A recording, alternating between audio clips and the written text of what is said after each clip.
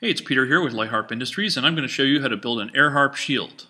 The AirHarp shield transforms your Arduino microcontroller into a playable musical instrument. Uh, it features a Maxbotix LV-EZ1 ultrasonic rangefinder module and five push buttons. And that's really all it is. Uh, however, with the firmware that I wrote, uh, this will output MIDI messages, which can go to your computer and control software synthesizers through the use of a currently Macintosh-only driver. Uh, or you can get one of these whiteboards, which is uh, called the Fluxmus Shield, sold by Modern Device, moderndevice.com, and it will generate its own sound because the Fluxmus Shield will take the MIDI messages uh, generated by the Arduino firmware um, as a function of the buttons that you press and the ultrasound, and uh, will will create uh, various sounds. So uh, I will show you how to build this uh, from a kit. All it is is just five push buttons, ultrasound, and these little pin things, and uh, and I will show you how to hook it up with the other components. So now we have our parts assembled here. We can start uh, plopping them in place. these push buttons pretty much just go right where you would expect them to go. Um, the four pin typer can really go in one way. If you try to put them in the other way, the uh, the pin spacing won't match. So just put them in as you would expect them to go, and uh, they'll snap in for sturdy retention. And of course, we will shortly be soldering them in place. Okay, now that we have our buttons in place, uh, we can start snapping off segments of our breakaway header. Uh, now we're going to need two rows of eight, and we're going to need two rows of six. Actually, we'll need three rows of six because we need a row for the ultrasound. So, um, you can count one, two, three, four, five, six.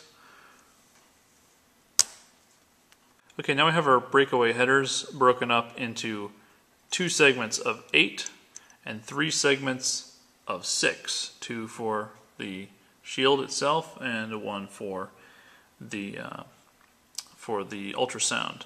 Uh, now, notice these buttons are going on from the top, so we're going to solder them on the bottom side. The headers are going on from the bottom, so we're going to solder those on the top side. With the ultrasound, the pins are going to go in from the top, and we're going to solder them on the bottom. Now, take note though that there are seven holes in the ultrasound board.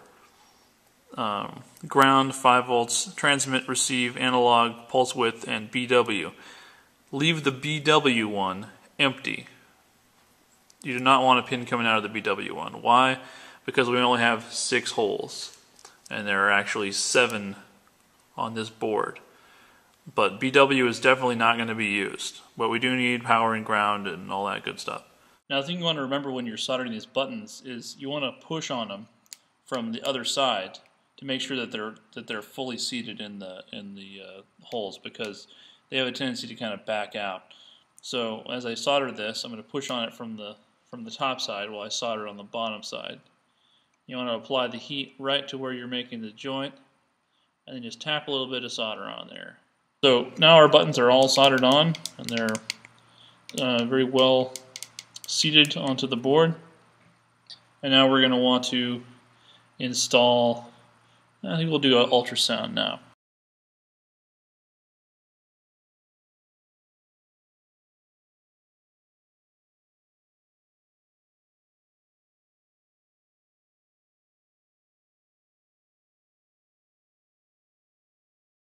So now all our buttons are in place, our ultrasound is in place, and uh, we're going to go ahead and install the breakaway headers, and these are going to interface with the Arduino. So um, now to get these straight, I actually recommend um, installing it on an Arduino. So we have some Arduinos in here.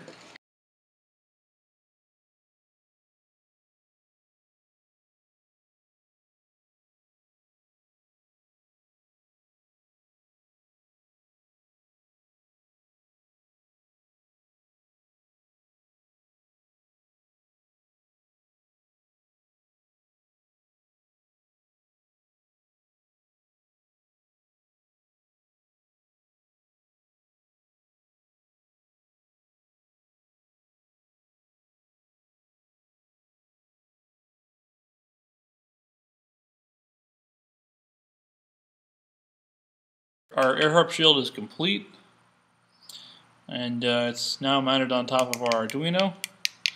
Uh, can we use it directly like this?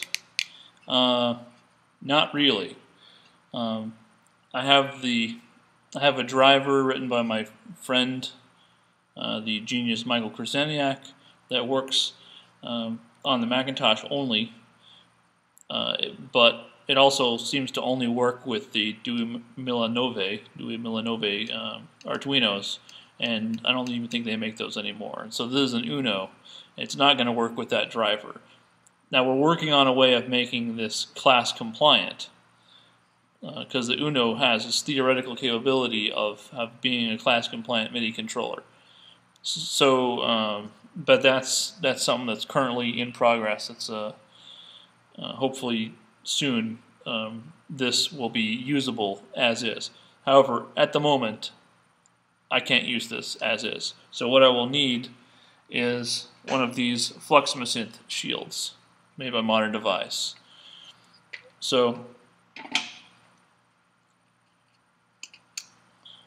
we will take the air harp shield and place it on top of the Fluxamasynth shield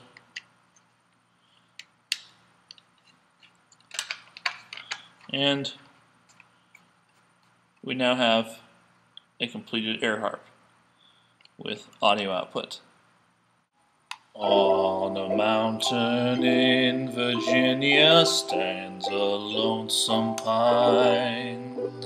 Just below is the cabin home of a little girl of mine.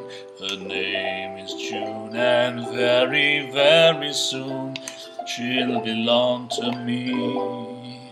For I know she's waiting there for me neath that lone pine tree in the Blue Ridge Mountains of Virginia on the trail of the lonesome pine in the pale moonshine our hearts entwine where she carved her name and I carved mine. Oh, June, like mountains I'm blue, like the pine. I am lonesome for you. In